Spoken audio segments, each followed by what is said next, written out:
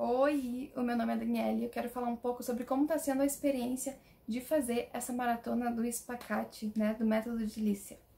Então, antes de eu começar a maratona, eu já estava buscando algum tipo de alongamento porque eu achava interessante conseguir mesmo é, ter uma boa abertura, conseguir alguns movimentos melhores, né? Então eu comecei a buscar e tal e surgiu o espacate, daí eu comecei a fazer.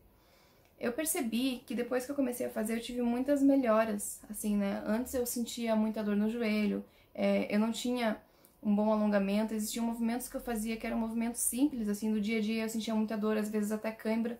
E depois que eu comecei a fazer, eu senti que tudo fluiu de forma mais fácil, assim, né? A dor no meu joelho sumiu, o meu joelho não estrala mais o tempo inteiro. Eu tive fortalecimento muscular não só nas pernas, né, no joelho, mas também no meu abdômen eu senti uma diferença muito grande. Eu senti diferença na minha disposição, na minha resistência em fazer exercício, na minha respiração, de conseguir é, aprender a respirar melhor. Quando eu comecei o método de Lice, eu achava que eu ia ter muita dificuldade por conta dos movimentos, de não ter essa flexibilidade. Só que durante o processo eu fui percebendo que era muito fácil fazer. É, não é que você não vai ter que se esforçar e não vai sentir dor, não, você vai sentir. Só que ao mesmo tempo, são movimentos possíveis de fazer. É muito simples de fazer, né? Basta ter dedicação, basta você ter ali a disciplina em fazer tudo isso.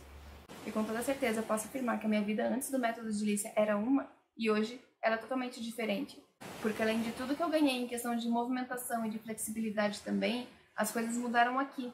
Então fica aqui o meu muito obrigada, Grazi, por ter desenvolvido um material maravilhoso pra gente que a gente consegue acompanhar com facilidade independente do nível, independente do nosso entendimento sobre flexibilidade e tudo mais. Muito obrigada!